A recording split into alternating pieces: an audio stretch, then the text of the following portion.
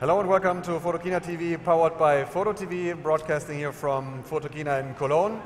And uh, the great thing about the fair is you get international guests delivered right into your studio, and this one must be nice, huh? yeah, yeah, it uh, works works very well.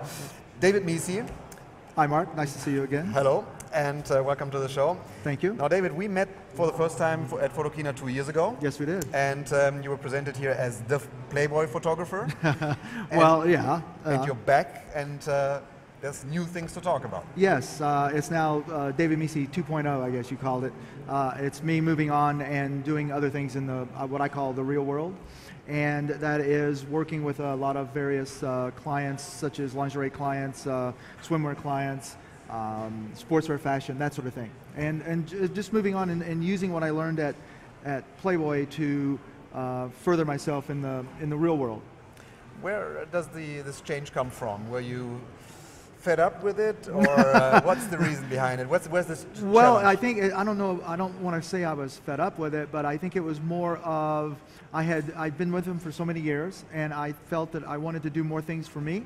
And instead of working always for the bunny, although I worked for them for like 23 years, it was uh, something that I wanted to do for myself. And, and I wanted to expand on my photography rather than just shooting for their type, their style of shooting, I wanted to go out and, and utilize what I had learned while being there and expand upon that and do some other things and, and explore uh, more in the world of photography.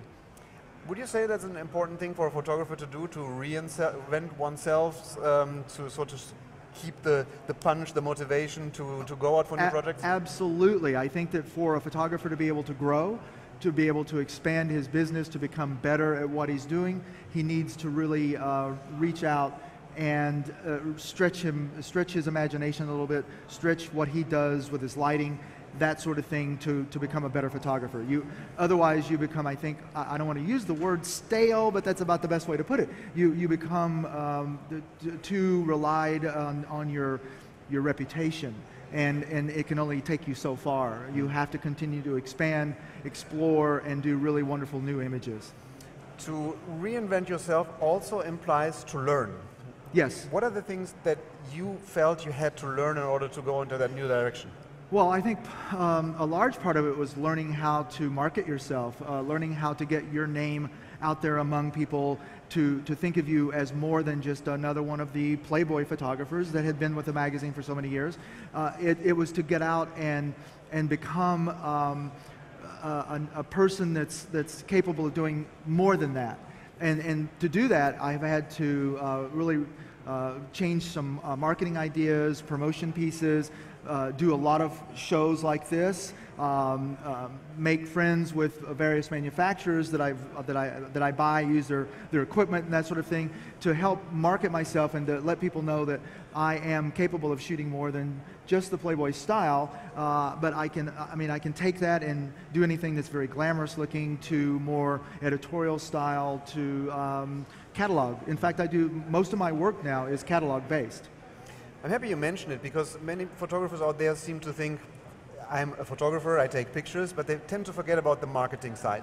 Uh, you have to you have to get clients. It's, it's, sales, it's marketing, and you talked a lot about that on the stage of leading photographers uh, over there in uh, Hall Six, I guess, on the stage of Guido Karp. So what did you, right, tell, what right. did you tell people? I think I think it was at Hall Six or Hall Nine. Uh, uh, well, anyway, with Guido Karp, yes. Uh, yesterday, I think I spent a great deal of time of talking about um, what I needed to do to move away from that being considered a Playboy shooter and, and put myself out there among all the other photographers that are out vying for work.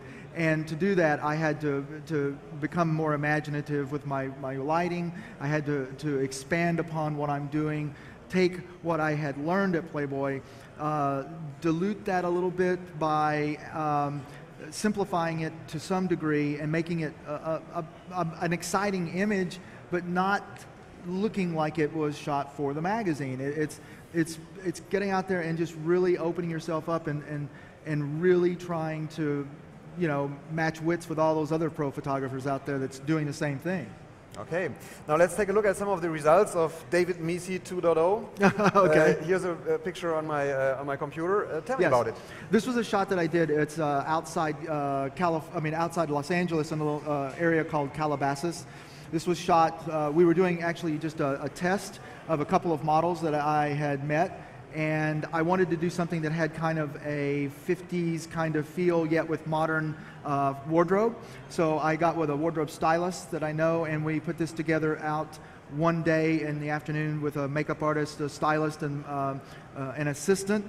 Uh, using, uh, I used the, uh, the ring flash on this and uh, natural light. And it was just a combination of, of ring flash and natural light, that, and it gave it kind of, uh, and then the, the propping and everything gave it that kind of a 50s period feel. What adds to the 50s feel here as well is the, the, the colors. Now, how much Photoshop is in such a picture? The only thing that, that I did on this was I used a filter to create that kind of uh, uh, old style cast to it. Otherwise, it's, it's right out of the camera. I don't do that much photoshopping per se, other than maybe a color correction or a color, slight color change. And for this, I just used a, uh filter out of a, uh, a, a filter set called Exposure. And they offer something, it's, like, it's almost like an antique look. Okay, let's have a look at another picture. This was shot in the Bahamas for uh, a Versace uh, ad for uh, a store in Atlantis that's located down in uh, the Bahamas. I was down there shooting for a, uh, a magazine called Passport to Paradise, and we were uh, asked to, to, actually, it was great because I was down there right at the right time and got this job to shoot an ad for this store. So we, we shot actually a couple of different things for them. This was a swimsuit. I had the model climb up, literally climb up on this ledge. And this again was shot with a uh, ring flash strobe mixed with sunlight. Uh, the only filter was also in exposure, uh, and it basically desaturates the sky, makes it look almost black and white. Another Uh, one? this was this was also for that same job. This is a Versace dress. Uh, we shot this in uh, again in the Bahamas on a small island. The wind was blowing. That, that is not a fan. That is the the wind was blowing so terribly hard. But but what made it so great was the fact that the wind blew at exactly the right time, and the, and the shape of the dress was perfect when I shot. And I saw the dress moving, and I shot at that moment, hoping that I was able to capture it, and I did. And they loved this shot. This ran full page, and, and this is what they selected for the ad. And um, then I overpowered the sun with the, the, the, the ring flash. Uh, I shot this at like f11 and a half at 250th of a second, or f16, and that is the sun ball right up in the corner. How much power on the fill there? Oh, a lot. a I lot, mean, yeah. Yeah, but uh, I, I used the, the, the ring flash, the, the Hensel ring flash that's 1200 watt seconds, the Porty, and, and it just, it works great. This was a test of a model that uh, I had met in Los Angeles. She was, she's uh, fairly new, but I, I loved her look. Uh, I, I live in a loft there, and so uh, I have great light coming in. And I wanted to, I wanted to try out the 5D Mark II with its natural light capabilities. And so we literally just shot this natural light, no fill cards anywhere, nothing. And we just did a, a test that day, a series that day. She works, she moves very, very well, has a great look, has this great soft red hair. And literally, it was just a, a, a day of fun. It is still a very central photo. Is that something that... Uh, I think that's sort of, I, I guess that's something I'm going to take with me forever. I mean, uh, you, you, you try to, uh, I think the, the reason that the models that I photograph tend to look sexy is I am, I'm, I've been told that I'm very good at uh, making uh, the, the woman feel very comfortable in front of the camera.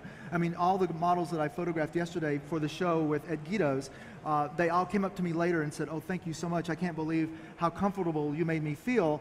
And there was like four or five hundred people around us literally watching us photograph her. And she had on like a bra and like little panties and stuff. And i mean in front of 400 people that's a that's an amazing accomplishment for her. And i said well thank you. I, you're the one who did so great. And she goes yeah but you made me feel like there was nobody else around. And that's that's kind of part of what i take with me from working at the magazine for so long because that was one of the main things that i had to deal with brand new models never being in front of the camera needing to be able to be comfortable enough to take all their clothes off and, and, and produce a very sensual, sexy picture. Okay. Another one? Oh, that's Ah. the cover you got. Uh, Yes, I got this cover after appearing here at Photokina in 2008.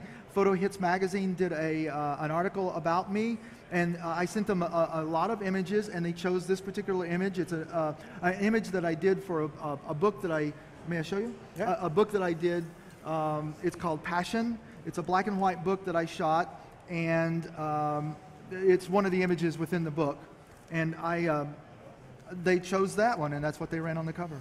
Now we put this in here because um, it shows that you've become quite famous in Europe as well. I mean, you're an American photographer, and Yes. um, it looks like uh, they're all asking for you over here in Europe. I think it's because Europeans have no problem with boobs. I, I, I hate, I hate to say it quite so bluntly, but it's true, and I love it over here. I, I mean, uh, I, I have been doing, I've had articles written on me in uh, Italy, France, Germany. Um, I've worked for clients in, in those same places as well as the UK.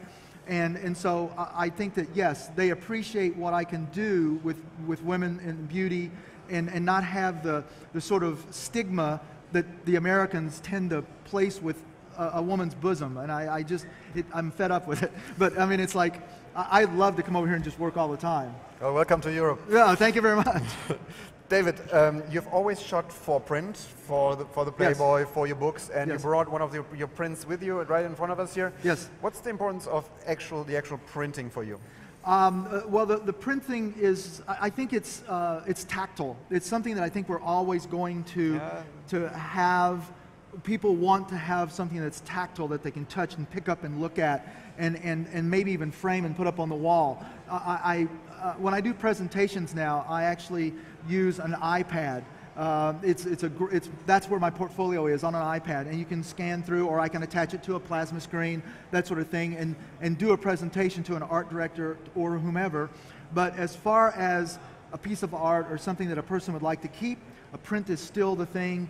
And, and being from shooting for pages and, and print media all my life, uh, I, I still maintain that um, the best presentation is something on a piece of paper, and, and I just love doing that. And so when I shoot, I also shoot with an awareness of how to make the best image that is um, best for printing on the page uh, for, because of all the years at Playboy, knowing how to control the shadows, how to control the highlights, and still create an image that's very, very special and exciting. Great. Time is up, but uh, David Mecey 2.0. Uh, yeah, Uh, I'm I think that's I'll title that my book, David Mecey 2.0. No, I'm kidding. No, I, I will. Uh, it's, it's, it's very exciting. I think it's a, it's a new place in my career. I'm really excited about moving on and doing some other things. Uh, that legacy that I carry with me at working at Playboy will always be there. I, I mean, it was, it was my proving ground, so to speak, as a photographer, and, and I'm, I'm always going to have that. But now it's like I'm wanting to create some things that's all me, and it, it's about what I can do as a photographer that counts now, and that's what I'm doing. Okay, looking forward to 3.0 in yeah, two 3.0. years' time next for Well, the there you go. In the next uh, Photokina, I'll be back with 3.0. Thank you for being here Thanks, this Mark. time. Thanks for having me. Thank you for watching. See you on the next show of Photokina TV powered by Photo TV. Goodbye.